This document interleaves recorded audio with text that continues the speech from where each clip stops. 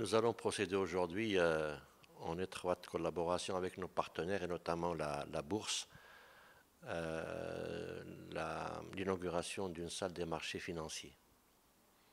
C'est un moment important pour nous qui s'inscrit dans une dynamique euh, de mise en place d'un certain nombre d'espaces qui sont destinés à faciliter l'insertion de nos lauréats et surtout à mettre en pratique leurs connaissances théoriques euh, l'amphithéâtre euh, n'est pas suffisant, tout comme le diplôme n'est pas suffisant.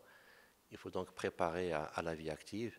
Et c'est dans cet esprit que nous avons créé la première clinique juridique au Maroc et un tribunal de simulation. Et aujourd'hui, nous mettons en place une salle des marchés financiers pour que nos étudiants euh, puissent avoir la juste mesure de, de leurs connaissances théoriques lorsque ces connaissances seront mises en pratique dans la réalité.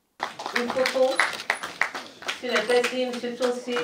Donc, euh, nous sommes honorés aujourd'hui pour euh, cette cérémonie qui marque euh, une convention de collaboration avec l'Université Mohamed V Rabat, mais également l'inauguration de la nouvelle salle de marché universitaire.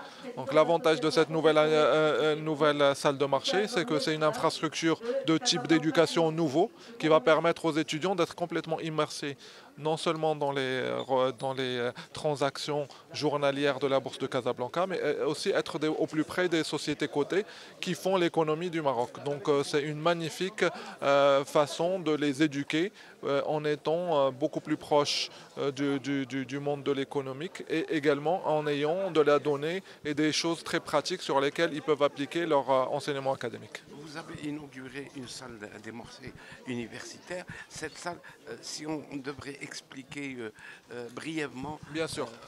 Alors c'est très simple, cette salle vous met dans la peau d'un trader, sauf que c'est n'est pas avec de, de l'argent, c'est de l'argent virtuel. Donc on vous donne un portefeuille d'un million de dirhams. Euh, sur lequel vous devez réaliser des transactions sur la bourse de Casablanca.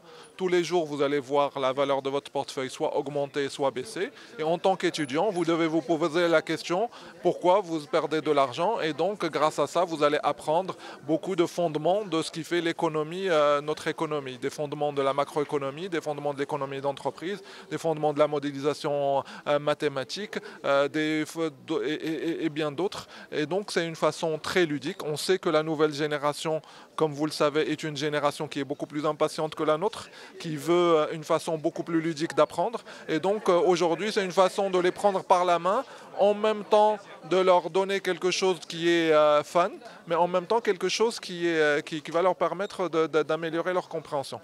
pour donner peut-être une analogie, c'est comme si vous offriez à votre enfant un, jeu de Scrabble et vous les voir s'améliorer en orthographe. C'est exactement la même chose. C'est pas une technique d'entrer dans les marchés comme ça virtuellement, certains pour la première fois, euh, il y, a, une soif de, de, tester un peu leurs connaissances euh,